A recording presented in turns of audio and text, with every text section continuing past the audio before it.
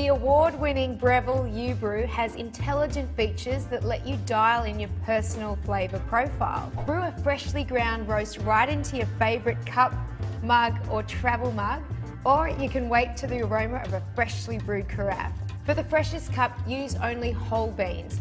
Always check the roasted on date when buying beans and use them within two weeks of that date. First ensure your hopper's locked into place, then place the beans in the hopper. If you wanted to use pre-ground, just turn the grinder off, but be sure to use only drip coffee grinds and not espresso grinds, since the finer grind may actually cause the coffee basket to overflow.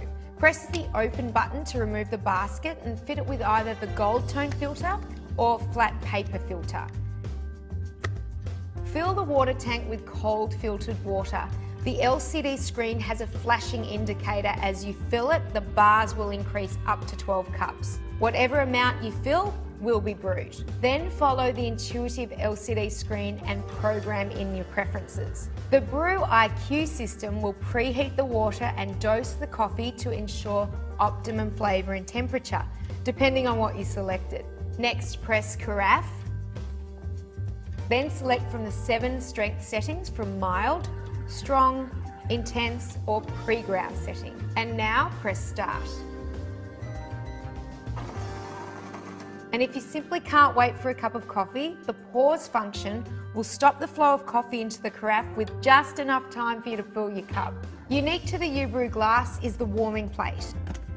And that'll remain on for two hours after brewing. For the single cup mode, preheat the cup by filling it with hot water and let it sit for 30 seconds. And you'll need to use a heat resistant cup because of the warming plate. For travel mugs, remove the drip tray, open the door, Pop in the travel mug and then shut the door. Press single cup, choose your size, then select from the seven strength settings from mild to intense or select pre-ground.